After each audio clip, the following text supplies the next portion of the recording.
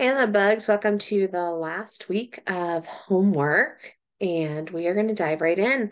We're looking at adding and subtracting within 1000. And I gave you both options as sideways and stacked. Now, I prefer mine stacked, so I'm going to rewrite them, but you can use this strategy that for you.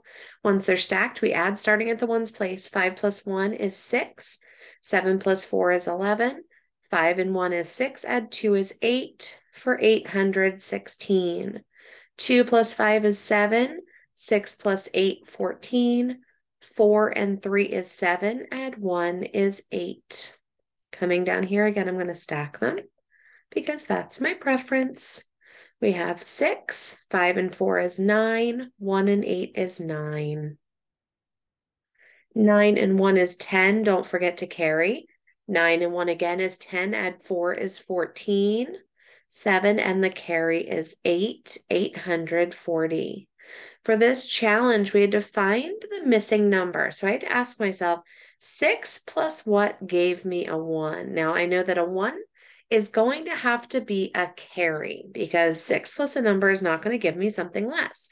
So if I did 6 plus 4, it's 10. 6 plus 5 would give me 11. Now I have a carry. I'm looking for a total of 9. 2 plus my carry is 3. I need 6 more to get 9. And then I come over here and I'm left with 5. So 566 plus 25 gives me 591. Same strategy over here. I need 9 plus a number to give me 0. 9 plus a number to give me 0. So let's start with what I have. 7 and 6 is 13. I carry. 9 plus the carry already gives me that 0, so that means I need a 0 here. I need a number plus 3 to give me 9. It's going to be 6. So 697 plus 306 gives me 903. Same strategy. 6 plus what gives me 8? It's 2. Ooh, that got a little crazy. 8 plus 8 is 16. 6 plus 1 is 7. I need one more to get 8. 682 plus 186 equals 868. Down here, finding the difference or subtracting. I am absolutely going to stack these. 2 minus 6. If the top number is smaller, I need to borrow. This one was tricky because we had to double borrow. I can't borrow from a 7, so I have to borrow. Let me change my color. From my 6, which makes this 10. 9. Now we can do it. 12 minus 6 is 6. 9 minus 9 is 0. 6 minus 1 is 5. 506. Over here, 2 minus 7, I can't do it. 7 becomes a 6. 2 becomes 12. 12 minus 7 is 5. 6 minus 4 is 2. 5 minus nothing is 5. Coming down here, I'm going to change it back to black and stack it. And here we go. Borrowing because I can't do 5 minus 9. 15 minus 9 is 6. 1 minus 4 I can't do. 11 minus 4 though I can do. It's going to give me 7. And 7 minus 5 is 2. Over here again with the double borrow. Can't subtract a 3, but I can subtract 13 minus 7 gives us 6 can't subtract 5 from, or can't subtract 6 from 5, but I can do 15. Minus 6 gives me 9. 3 minus 2 gives me 1. 196. Challenge with subtraction. Here we go. I know that I can't subtract from 6. I'm going to have to borrow. 13 minus 6 gives me 7. Now 3 minus what gives me 1? I need a 2. And what minus 1 gives me 5? I need a 6. 643 minus 126 gives me 517. Over here, 7 minus 7 gives me 0. 7 minus 6 gives me 1, and 8 minus 3 gives me 5. 877 minus 367 is 510. Last one, 2 minus what gives me 4? Now, this one I had to really think because I was going to have to borrow. I know that much. 12 minus 8 gives me 4. Now over here, I need it to be a two, but I had to borrow from it. So if I did three minus one, it would be two. But since I had to borrow, I needed to make it a four. And then six minus one is five. 642 minus 118 leaves me with 524. Questions on this? Bring them to class or send me a message. All right, round your answer to the nearest tens. So notice, round your answer to the nearest tens. 479 plus 506. 9 and 6 is 15, I carry. 7 and 1 is 8. 4 and 5 is 9. This is my answer, but I want it rounded. 990. 5 or above, give it a shove, it rounds up. 6 and 3 is 9. 6 and 4 is 10. I carry. 3 plus 2 is 5. Add 1 is 6. Rounded to the nearest tens is 610. 5 or above, give it a shove. I have a 9. Over here, I'm going to stack it. 8 and 9 is 17. 9 and 1 is 10. Add 4 is 14. 5 and 1 is 6. Add 1 is 7. And rounded to the nearest 10 is 750. Subtraction, watch your signs. 7 minus 1 is 6. I have to borrow. 10 minus 8 is 2. 6 minus 4 is 2, but rounded to the nearest tens is 230. Down here, I'm going to stack it. That's my preference. And I'm going to have to borrow. 14 minus 8 is 6. 5 minus 3 is 2. 9 minus 3 is 6. But rounded, 630. Again, stacking as that's my preference. I think it helps my brain match them up a little bit better. 5 minus 3 is 2. 3 minus 2 is 1. 6 minus 1 is 5, but rounded, 510. 4 or less, let it rest. Round down.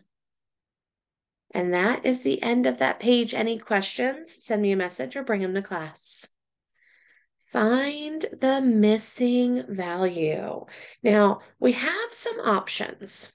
But what I like to do is when I'm subtracting, I know that if I add these numbers together, it's going to give me the answer as well because the answer to subtraction is addition, right? I can use some opposites. So if I'm trying to figure out what's missing, I'm going to take my answer and I'm going to subtract it from here because what's left over is still going to give me my answer. I can flip flop them. So I'm going to borrow. 11 minus 3 is 8. 5 minus 2 is 3. 8 minus 1 is 7. So if I check it, 861 minus 738, my answer should be 123. Let's check it. 11 minus 8 is 3. 5 minus 3 is 2. 8 minus 7 is 1. There we go. My missing number, 738. For these, I can use my opposite operation. I can subtract to see what's missing. So 7 and 13. Uh, 13 minus 8 it's going to give me 5. 7 minus 6 is 1. 9 minus 2 is 7. So if I check this, 715 plus 268 it matches. This is my missing number. Down here, again, I'm going to subtract. And since my second number is there and my first number is missing, I can add these. I get 2, I get 13, and I get 9. Let's check it. 932. If I take away 562, I should get 370. And I do. So when our first number is missing, we add. When our second number is missing, we subtract. For these, I can subtract because that's my opposite operation. 431. Let's check it. If I add 114, yep, it's a match. Down here, first number is there, second number is missing, so I can subtract my answer. 336 should be what is missing. Let's check it. It's a match. Over here, opposite operation, let's subtract. We should be missing 543. Let's check it. It's a match. Any questions on this page? Bring them to class or send me a message. Last one, we're looking at some word problems, the icky, sticky, tricky. It says the toy store has 406 baby dolls and 345 toy cars. How many toys does the toy store have? How many? I'm going to add 406 plus 345, 11, 5, 7, 751 toys in the toy store. Over here, what are they asking me to do? What numbers are they giving me to use? A bakery has 742 cookies. On Friday, they sold 243. How many are left? That tells me I need to subtract. So I started with 742. I sold 243. We got a double borrow, but you can do hard things. 12 minus 3 is 9. 13 minus 4 is 9. 6 minus 2 is 4. We have 499 cookies left. Coming down here, a local grocery store just got a shipment of 431 tomatoes. If they already had 157 out on the shelves, how many tomatoes do they have now? That's an adding problem. 431 plus 157.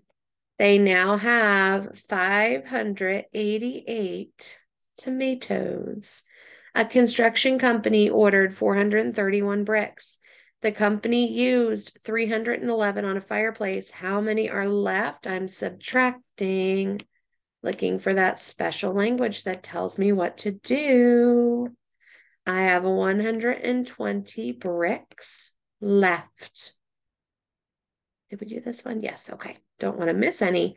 Catherine read 153 pages in one month, 259 pages in month two, and 208 pages in month three. How many pages did she read altogether? We have a triple stack.